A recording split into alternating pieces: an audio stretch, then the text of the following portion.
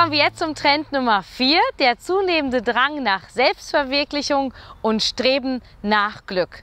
Der sagt eigentlich aus, dass ähm, die junge Generation ein ganz anderes Selbstbild von sich selber hat als ältere Personen. Sie wollen sich selbst verwirklichen. Es geht darum eben, dass sie sehr glücklich sind. Also wir stellen uns mal den Hubert vor. Der Hubert ist in den 50er Jahren geboren und ähm, hat eine Mutter Adelheid, die auch eben den äh, Zweiten Weltkrieg mitgemacht hat. Und die Adelheid hat immer zum Hubert gesagt, ja Hubert, du musst dich anstrengen, du musst fleißig sein, dann wirst du auch irgendwann erfolgreich sein. Und ähm, der Hubert, der war natürlich sehr tüchtig. Ja, das war ja auch so eine Vokabel, die man damals oft verwendet hat. Der hat hart gearbeitet und dann hatte der letztendlich auch Erfolg. Wenn wir uns das jetzt mal in Bildern vorstellen, die Adelheid hat immer gesagt, Hubert, du wirst dann irgendwann auf eine grüne Wiese kommen. Und weil sich dann aber natürlich auch die Wirtschaft sehr positiv entwickelt hat und alles ähm, floriert hat, ist der Hubert letztendlich auf eine Wiese gekommen, die viel grüner war, viel saftiger als das, was er sich letztendlich vorgestellt hat. Und immer dann, wenn unsere Erwartungen übertroffen werden, ähm, dann sind wir natürlich begeistert und sehr zufrieden. Und im Endeffekt sind alle Vertreter oder sehr viele Vertreter der Babyboomer-Generation sehr zufrieden mit ihrem Leben, ja, weil sie einfach mehr erreicht haben, als sie sich vorgestellt hatten. Und diese Lebenserfahrung und Lebenszufriedenheit gibt der Hubert jetzt an seine Tochter Lucy weiter. Ja, Lucy gehört der Generation Y an und die kriegt jetzt eben von ihrem Vater Hubert die ganze Zeit gesagt, Lucy, Du kannst alles werden in deinem Leben. Dir stehen alle Türen offen, du hast alle Möglichkeiten der Welt. Dir wird es irgendwann auch wirklich gut gehen.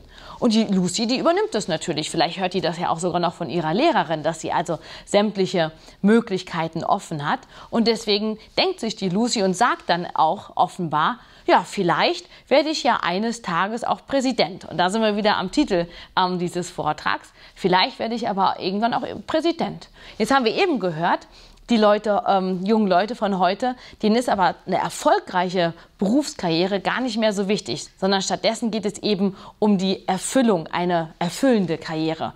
Und deswegen denkt sich Lucy, ja, ich könnte zwar auch Präsident werden, aber ist das eigentlich das, was ich im Herzen wirklich auch machen möchte? Vielleicht sollte ich auch lieber Drehbuchautorin werden. In jedem Fall stellt sich Lucy also vor, dass sie ein wunderbares Leben haben wird. Da ist nicht nur eben, wenn wir jetzt bildlich sprechen, grünes Gras, sondern auf ihrer Wiese blühen auch richtig bunte Blumen, richtig schöne bunte Blumen. Und weil ich die Marketingprofessorin bin, laufen auf Lucys Wiese sogar weiße Einhörner mit richtig toller Regenbogenmähne. Die laufen auf Lucys Wiese, weil sie sich das so toll vorstellt. Die Realität ist jetzt, es gibt keine Einhörner, auch nicht mit Regenbogenmähne und es gibt auch keine bunten Blumen auf der Wiese. Es ist auch heute noch schwierig, eben erfolgreich zu sein, heute mehr als früher. Und deswegen ist Lucy enttäuscht. Sie kann vielleicht gar nicht Drehbuchautorin werden. Und dann kommen ja noch hinzu die Social Media Verzerrungseffekte, weil die Lucy, die sitzt jetzt acht Stunden in ihrem Büro, ja, am Computer und sieht die ganze Zeit, wie irgendwelche Leute auf Instagram oder Facebook posten, was sie gerade für ein tolles Mittagessen mit Kollegen hatten und wie sie eben jetzt gleich spazieren gehen werden in der Sonne. Und deswegen ist Lucy frustriert. Wenn wir jetzt diese Lucy-Geschichte, ähm, die wir gerade gehört haben, mal übertragen eben auf die Lehre, auf unsere Studierenden, dann können wir eben festhalten, dass wir frustrierte und selbstfokussierte Studenten haben, die auf sich selbst bezogen sind. Auf Englisch eben frustrated and self-focused students.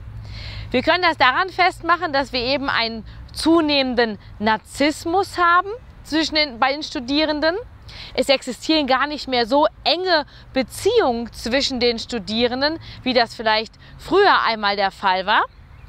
Wir haben einen zunehmenden Drang nach ähm, Selbstverwirklichung und zwar nicht nur von den ganz jungen Leuten, sondern auch eben von den Älteren der Digital äh, Natives oder der Generation Y. Das heißt auch mit ähm, in Zukunft werden wir weiterhin mehr Studierende über 30 oder 40 haben, die eben anfangen zu studieren, weil die streben ja danach, sich selbst zu verwirklichen.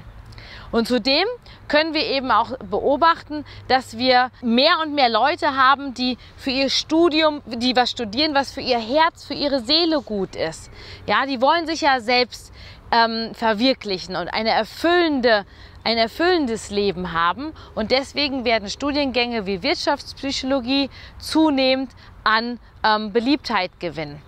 Und was wir uns auch vor Augen halten müssen, Personen wie Lucy beispielsweise, die wird niemals daran schuld sein in ihrer Selbstwahrnehmung, dass sie das Problem ist, wenn sie schlechte Noten hat, dass sie eben diejenige ist, ähm, ja, die sich die Schuld eingesteht, sondern eine Lucy wird immer das System, die FOM, die Dozierenden, andere dafür verantwortlich machen, wenn sie schlechte Noten hat. Und deswegen müssen wir mit eben steigenden Einsprüchen und Widersprüchen uns auseinandersetzen.